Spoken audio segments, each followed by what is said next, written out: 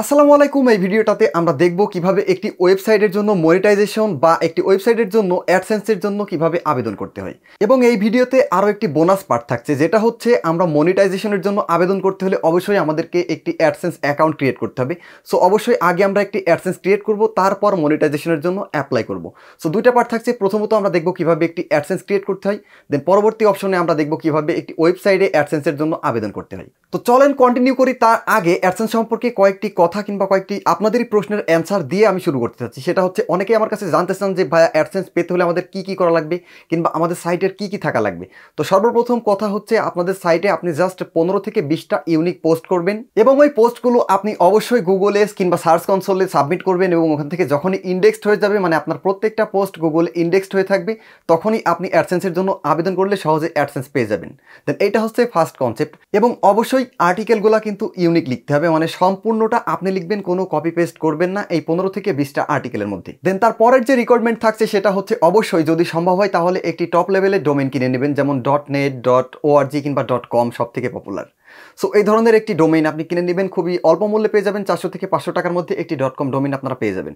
দেন তারপরে যে অপশনটা আছে, সেটা হচ্ছে অবশ্যই আপনারা একটি প্রিমিয়াম থিম ইউজ করার চেষ্টা করবেন এখানে। অবশ্য আপনারা যদি ডোমেইন এবং পেইড থিম কিংবা প্রিমিয়াম থিম ইউজ না করেন, তারপরও কিন্তু আপনারা অ্যাডসেন্স পাবেন। বাট যদি এগুলো ইউজ করেন, তাহলে কিন্তু আপনারা মানে কিংবা আপনাদের অ্যাডসেন্স পাবার একটু সম্ভাবনা বেশি থাকে বলতে পারেন। তার কারণ হচ্ছে, আপনার সাইটটা যদি একদমই প্রফেশনাল একটা সাইট থাকে, তাহলে কিন্তু গুগল অনায়াসে আপনাকে অ্যাডসেন্স দিয়ে দেবে। বাট যদি আপনি একজন নন প্রফেশন থাকেন কিংবা আপনার সাইটটা দেখেই মনে হয় আপনি নন প্রফেশন আন্দাজে অ্যাপ্লাই করে ফেলেছেন, তাহলে কিন্তু গুগল আপনাকে অ্যাডসেন্স দিবে না। সো এই জিনিসটা আমরা সবাই জানি যে প্রফেশনাল লোকের কিংবা যে কোনো প্রফেশনাল জিনিসের মূল্য সব জায়গাতে একটু বেশি থাকে।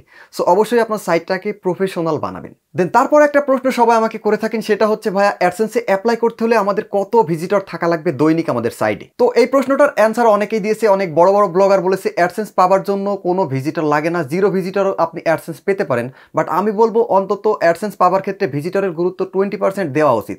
আপনার যদি একজনও ভিজিটর না থাকে, তাহলে কিন্তু আপনার অ্যাডটা কে দেখবে আর গুগল ফাও ফাও কেনই বা আপনাকে অ্যাডসেন্স দিবে।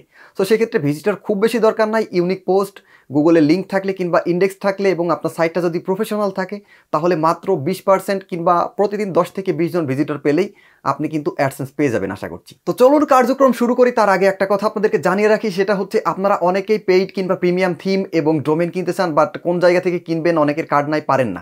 সো এর জন্য আমি ডেসক্রিপশনে আমাদের ফেসবুক পেজের লিঙ্কটা দিয়ে দিব, ওখান থেকে আমাদেরকে নক দিলে সমস্ত প্রকার হেল্প আমরা আপনাদেরকে করব। বিকজ আমরা কিন্তু পেইড থিম কিংবা প্রিমিয়াম থিম এবং ডোমেন নিজেরাই সেল করি। সো জাস্ট বিজনেসের খাতিরে বলছি না জাস্ট আপনাদের সুবিধার খাতিরে বলতেছি।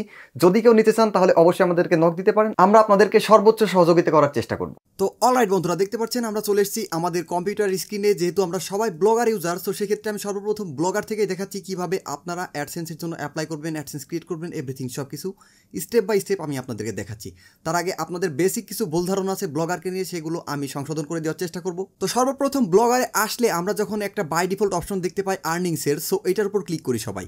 করলে কিন্তু এখানে প্রায় ব্লগে আমরা দেখতে পাই যে your blog does not currently qualified for AdSense তার মানে তারা বলছে কি যে আমাদের ব্লগটা এখনও অ্যাডসেন্সের জন্য ইলিজিবল না, কিংবা কোয়ালিফাইড না। সো ওইটা দেখে অনেকেই হড়কে যায় এবং আমরা অ্যাডসেন্সে অ্যাপ্লাই করি না। আসলে এইটা কোনো ফ্যাক্ট না, এইটা আপনারা দেখতে যাবেন না কখনো। আপনার সাইটে যদি এরকম থাকে, তারপরও কিন্তু আপনি গুগল অ্যাডসেন্স পেয়ে যাবেন। অনেকেই পেয়ে গেছে, এমনকি আমি নিজেও অনেকবার পেয়েছি।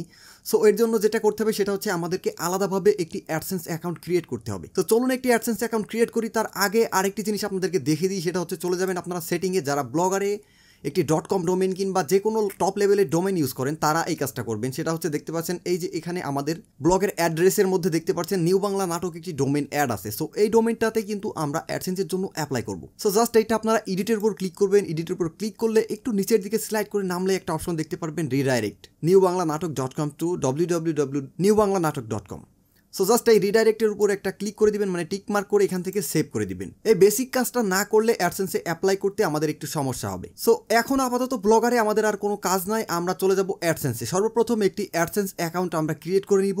তো এর জন্য নিউ ট্যাব ওপেন করছি এবং আমি গুগলে সার্চ করছি অ্যাডসেন্স সো অ্যাডসেন্স সার্চ করার পর সর্বপ্রথম দেখতে পাচ্ছেন অ্যাডসেন্সের বেশ কিছু পেজ চলে আসবে। এখান থেকে যে কোনো একটাতে ক্লিক করলেই আপনি চলে যাবেন অ্যাডসেন্সে সো দেখতে পাচ্ছেন আমরা অ্যাডসেন্সের হোম পেজে কিন্তু চলে এসেছি। এখন কথা হচ্ছে অ্যাডসেন্সের জন্য অ্যাপ্লাই করতে হলে অবশ্যই আপনার আঠারো বছরের উপরে বয়স থাকা লাগবে কিংবা আপনার এনআইডি কার্ড থাকা লাগবে এক কথায়। সো আপনাদের যাদের আঠারো বছরের উপরে বয়স এখনও হয়নি কিংবা এনআইডি কার্ড নাই সো অবশ্যই ফ্যামিলি মেম্বার কিংবা বাসার যে কোনো একজনের নামে আপনি অ্যাডসেন্স অ্যাকাউন্ট ক্রিয়েট করতে পারেন, কোনো সমস্যা নাই। সো চলে এসেছি আমরা অ্যাডসেন্সের হোম পেজে এখন এখান থেকে আমরা জাস্ট গেট স্টার্টের উপর ক্লিক করব গেট স্টার্টেড সো ক্লিক করার পর সর্বপ্রথম দেখতে পাচ্ছেন এখানে তারা একটা অপশন দিয়েছে ইউআর ওয়েবসাইট সো এখানে আমাদের ওয়েবসাইটের লিঙ্কটা দিতে হবে। সো এর জন্য আমরা আমাদের ওয়েবসাইটের লিঙ্কটা কপি করে নিয়ে আসি। আমি জাস্ট এখান থেকে আমাদের সাইটটা ভিউ করছি এবং এখান থেকে ডোমেন নেমটা কপি করে নিচ্ছি। সো কপি করে নিয়ে আমি চলে যাচ্ছি অ্যাডসেন্সে এবং এখানে এসে আমাদের ডোমেন নেমটা কিন্তু এখানে পেস্ট করে দিচ্ছি। সো একটা জিনিস খেয়াল রাখবেন, তারা কিন্তু ফর এক্সাম্পল দেখিয়েছে এইচ টিটিপিএস কখনোই দেবেন না ডাব্লিউ থেকে শুরু করবেন আপনার ডোমেন নেমটা দেওয়া। সো অবশ্যই লিখে দিবেন ডাব্লিউ ডাব্লিউ ডট আপনার ডোমেন নেম ডট কম কিংবা ডট নেট যাই থাকুক না কেন। এরপর তারা এখানে চাচ্ছে আপনার ইমেল অ্যাড্রেস বাই ডিফল্ট আমার ইমেল অ্যাড্রেসটা এখান থেকে নিয়ে নিচ্ছে, আমি ইমেল অ্যাড্রেসটা দিয়ে দিচ্ছি, আপনারা যেই ইমেল অ্যাড্রেসে আপনার অ্যাডসেন্স অ্যাকাউন্টটা করতে চাচ্ছেন, সেটা এখানে দিয়ে দিবেন। সো তারপরের অপশন দেখতে পাচ্ছেন get helpful AdSense for at the mail address so AdSense সম্পর্কে বিভিন্ন হেল্পফুল টিপস কিংবা ইনফরমেশন পেতে চাইলে আপনি এখান থেকে ইয়েস করবেন, না পেতে চাইলে নো সো অবশ্যই ইয়েস করবেন ইয়েস করে এখান থেকে সেভ অ্যান্ড কন্টিনিউতে ক্লিক করবেন। দেন সেভ অ্যান্ড কন্টিনিউতে ক্লিক করার পর দেখতে পাচ্ছেন পরের পেজটা চলে এসেছে, এখান থেকে তারা আমাদের ওয়েবসাইট এবং আমাদের ইমেইলটা কিন্তু এখান থেকে সিলেক্ট করে নিয়েছে দেখতে পাচ্ছেন। এখন এখান থেকে আমাদেরকে সিলেক্ট করতে হবে আমাদের কান্ট্রি সো এখান থেকে অবশ্যই আমরা কান্ট্রিটা বাংলাদেশ দিয়ে দিব। সো বাংলাদেশ সিলেক্ট করে দেওয়ার পর এখান থেকে তারা বেশ কিছু টার্মস অ্যান্ড কন্ডিশন দিয়েছে। সো সব কন্ডিশনগুলো অবশ্যই আপনারা চাইলে পড়ে নিতে পারেন ট্রান্সলেট করে। যারা ইংরেজি ভালো বুঝেন তাহলে ইংরেজি পড়ে নেবেন। দেন আমি সব কিছু দেখে নিচ্ছি আপাতত। এখান থেকে just yes I have read and accept the এগ্রিমেন্টের উপর ক্লিক করে এখান থেকে ক্রিয়েট অ্যাকাউন্টের উপর ক্লিক করবেন। দেন দেখতে পাচ্ছেন আমাদের অ্যাডসেন্স অ্যাকাউন্ট কিন্তু ক্রিয়েট হয়ে গেল। তো জাস্ট এখান থেকে গেট স্টার্টের উপর ক্লিক করছি আমরা। এখন যে কাজটা করতে হবে সেটা হচ্ছে এখানে নেম দিতে হবে। আপনার নাম দিবেন কিংবা যার নামে আপনি অ্যাডসেন্স অ্যাকাউন্টটা করতে চাচ্ছেন, তার নামটা এখানে দিবেন। এক্সাম্পল হিসেবে আমি একটা নাম এখানে দিয়ে দিচ্ছি। দেন নামটা দিয়ে দেওয়ার পর এখানে আপনি আপনার অ্যাড্রেসটা দিবেন। দেখতে পাচ্ছেন অ্যাড্রেসের জন্য দুইটা লাইন আছে এখানে। সর্বপ্রথম হচ্ছে অ্যাড্রেস লাইন ওয়ান এবং পরের লাইনটা হচ্ছে অ্যাড্রেস লাইন টু সো অনেকে এখানে বুঝতে পারেন না অ্যাডসেন্সটা সরি অ্যাড্রেসটা কীভাবে দিবেন। সো আমি জাস্ট দিয়ে আপনাদেরকে দেখাচ্ছি কীভাবে আপনারা এখানে আপনাদের অ্যাড্রেসটা দিবেন। তো অ্যাড্রেস লাইন ওয়ানে দেখতে পাচ্ছেন, আমি দিলাম হোল্ডিং নাম্বার এবং আমার ভিলেজের নামটা। সো আপনি যদি গ্রামে থাকেন, তাহলে অনলি এই দেখতে পাচ্ছেন ভিআই ডবল এল দিয়ে এখান থেকে আপনি আপনার ভিলেজের নামটা দিয়ে দিতে পারেন যদি হোল্ডিং নাম থাকে। এরপর যদি আপনি শহরে থাকেন, তাহলে অবশ্যই আপনার বাসা বাড়ির অ্যাড্রেস কিংবা নাম্বারটা এখানে উল্লেখ করে দিবেন। সো এখন দেখায় দ্বিতীয় লাইনে আপনারা কি দিবেন? সো দ্বিতীয় লাইনে দেখতে পাচ্ছেন আমি দিয়ে দিয়েছি পিও তার মানে আমাদের পোস্ট অফিসটা দিয়ে দিয়েছি আমি এখানে এবং তারপরে দিয়েছি পিএস তার মানে আমাদের পুলিশ স্টেশনটা সো এখানে আসলো কি সর্বপ্রথম আপনি গ্রামে থাকলে আপনার গ্রামের নাম, আপনার পোস্ট অফিস এরপর আপনার থানা এরপর আপনার সিটি নিচে দিয়ে দেবেন। যেভাবে নর্মাল আমাদের অ্যাড্রেসটা থাকে সেইভাবে। তো এই জিনিসটা অ্যাড্রেস লেখার সময় আপনি ফলো করবেন আপনাদের এনআইডি কার্ড মানে আপনার এলাকার, আপনার হোক, আপনার ফ্যামিলি মেম্বার কিংবা অন্য কারও এনআইডি কার্ডের ব্যাক প্যানেলটা দেখবেন আপনি। পিছনে অবশ্যই আপনাদের অ্যাড্রেসটা দেওয়া আছে। সো যেইভাবে দেওয়া আছে, ওই অনুযায়ী আপনারা আপনাদের অ্যাড্রেসটা এখানে লিখে দিবেন। দেন এরপর দেখতে পাচ্ছেন সিটি সো সিটিটা এখানে আমি দিয়ে দিচ্ছি। সিটি বলতে এখানে আপনারা আপনাদের জেলাটা দিয়ে দিলেই হচ্ছে।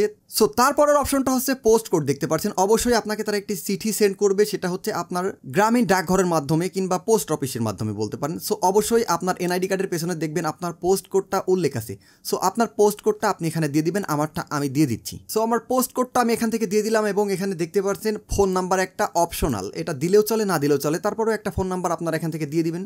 চাইলে নাও দিতে পারেন, কোনো সমস্যা নাই। সো আমি এখান থেকে একটি ফোন নাম্বার দিয়ে দিলাম, দিয়ে জাস্ট সাবমিটের উপর ক্লিক করছি। দেন সাবমিটের উপর ক্লিক করার সাথে সাথে দেখতে পাচ্ছেন আমাদের অ্যাডসেন্স অ্যাকাউন্ট ক্রিয়েট হয়ে গেছে এবং তারা এখান থেকে আমাদের এই দেখতে পাচ্ছেন নিউ বাংলা নাটক ডট কম ওয়েবসাইটটা ভেরিফিকেশন করার জন্য, ওনার ভেরিফিকেশন করার জন্য তারা একটি কোড দিয়েছে, দেখতে পাচ্ছেন। সো এই কোডটা আমরা কপি করে নিয়ে গিয়ে আমাদের সাইটের মধ্যে বসাবো। সো এই কাজটা মোস্ট ইম্পর্টেন্ট এখানে অনেকেই সমস্যা করেন কিংবা অনেকে কোডটা ঠিকমতো সেভ করতে পারেন না। সো এর জন্য চলে যাচ্ছি আমরা আমাদের ব্লগে এবং এই কাজটা করার জন্যই কিংবা এই কোডটা সেভ করার জন্যই কিন্তু আপনাদের অবশ্যই এই রিডাইরেক্টে ক্লিক করে রাখতে হবে। অবশ্যই রিডাইরেক্টে ক্লিক করে রাখলে এই ধরনের কোনো সমস্যা আর হবে না। দেন কোডটা আমরা সেভ করব হচ্ছে আমাদের থিমের মধ্যে। তো আমরা চলে যাচ্ছি থিমে থিম থেকে এখান থেকে ইডিট এইচ এডিট এইচ টিএমএলে আসার পর যদি অ্যাডসেন্সে যাই তাহলে দেখতে পাচ্ছেন তারা কিন্তু এখানে আমাদের ইনফরমেশন দিয়ে দিয়েছে। হেডের পরে বসাতে হবে। দেখতে পাচ্ছেন? এই যে হেডের পরে বসাতে হবে। সো আমরা চলে আসছি আবার আমাদের থিমে এবং এখান থেকে আমরা খুঁজবো এই যে সর্বপ্রথম দেখতে পাচ্ছেন হেড থিমের মধ্যে কিন্তু হেড নামের একটা লেখা আছে কিংবা কোড আছে। তো এই হেডের পরে আমরা আমাদের যে লিঙ্কটা সরি যে কোডটা কপি করে নিয়ে এসেছি ওনার ভেরিফিকেশনের জন্য এখান থেকে দেখতে পাচ্ছেন এই কোডটা কিন্তু এই যে লিঙ্কের পরে আমি এখান থেকে স্পেস যে ফাঁকা করে আপনাদেরকে দেখাচ্ছি, যে মিডিলের অংশটা এখানে পেস্ট করে দিয়েছি। দেন দেবার পর এখান থেকে আমরা সেভ থিমের উপর ক্লিক করব এবং দেখতে পাচ্ছেন আমাদের থিমে কিন্তু এই কোডটা সেভ হয়ে গেছে। সো এখন জাস্ট আমরা অ্যাডসেন্সে যাব এবং এখান থেকে I have posted the code into my site এটা টিকমার্ক করে এখান থেকে জাস্ট ডান করে দিব। দেন দেখতে পাচ্ছেন চেকিং হচ্ছে, আমরা কোডটা আসলে সঠিকভাবে বসিয়েছি কিনা। দেখতে পাচ্ছেন দি কোড ওয়াজ ফাউন্ড তার মানে আমাদের কোড সঠিকভাবে আমরা বসাতে পেরেছি এবং তারা আমাদের সাইটকে ভেরিফাইড করতে পেরেছি।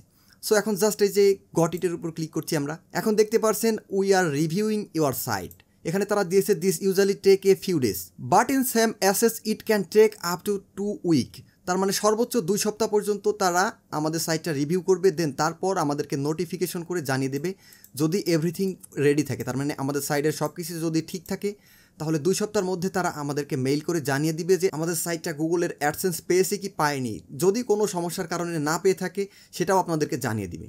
সো জাস্ট এইভাবেই আপনারা অ্যাপ্লাই করে দিবেন অ্যাডসেন্সের জন্য আপনাদের ওয়েবসাইটকে এবং দুই সপ্তাহ সর্বোচ্চ ওয়েট করে দেখবেন। যদি আপনার সাইটটা অ্যাপ্রুভ হয়ে যায় তাহলে নোটিফিকেশন দিয়ে জানিয়ে দিবে, যদি না হয়ে যায় তারপরও জানিয়ে দিবে।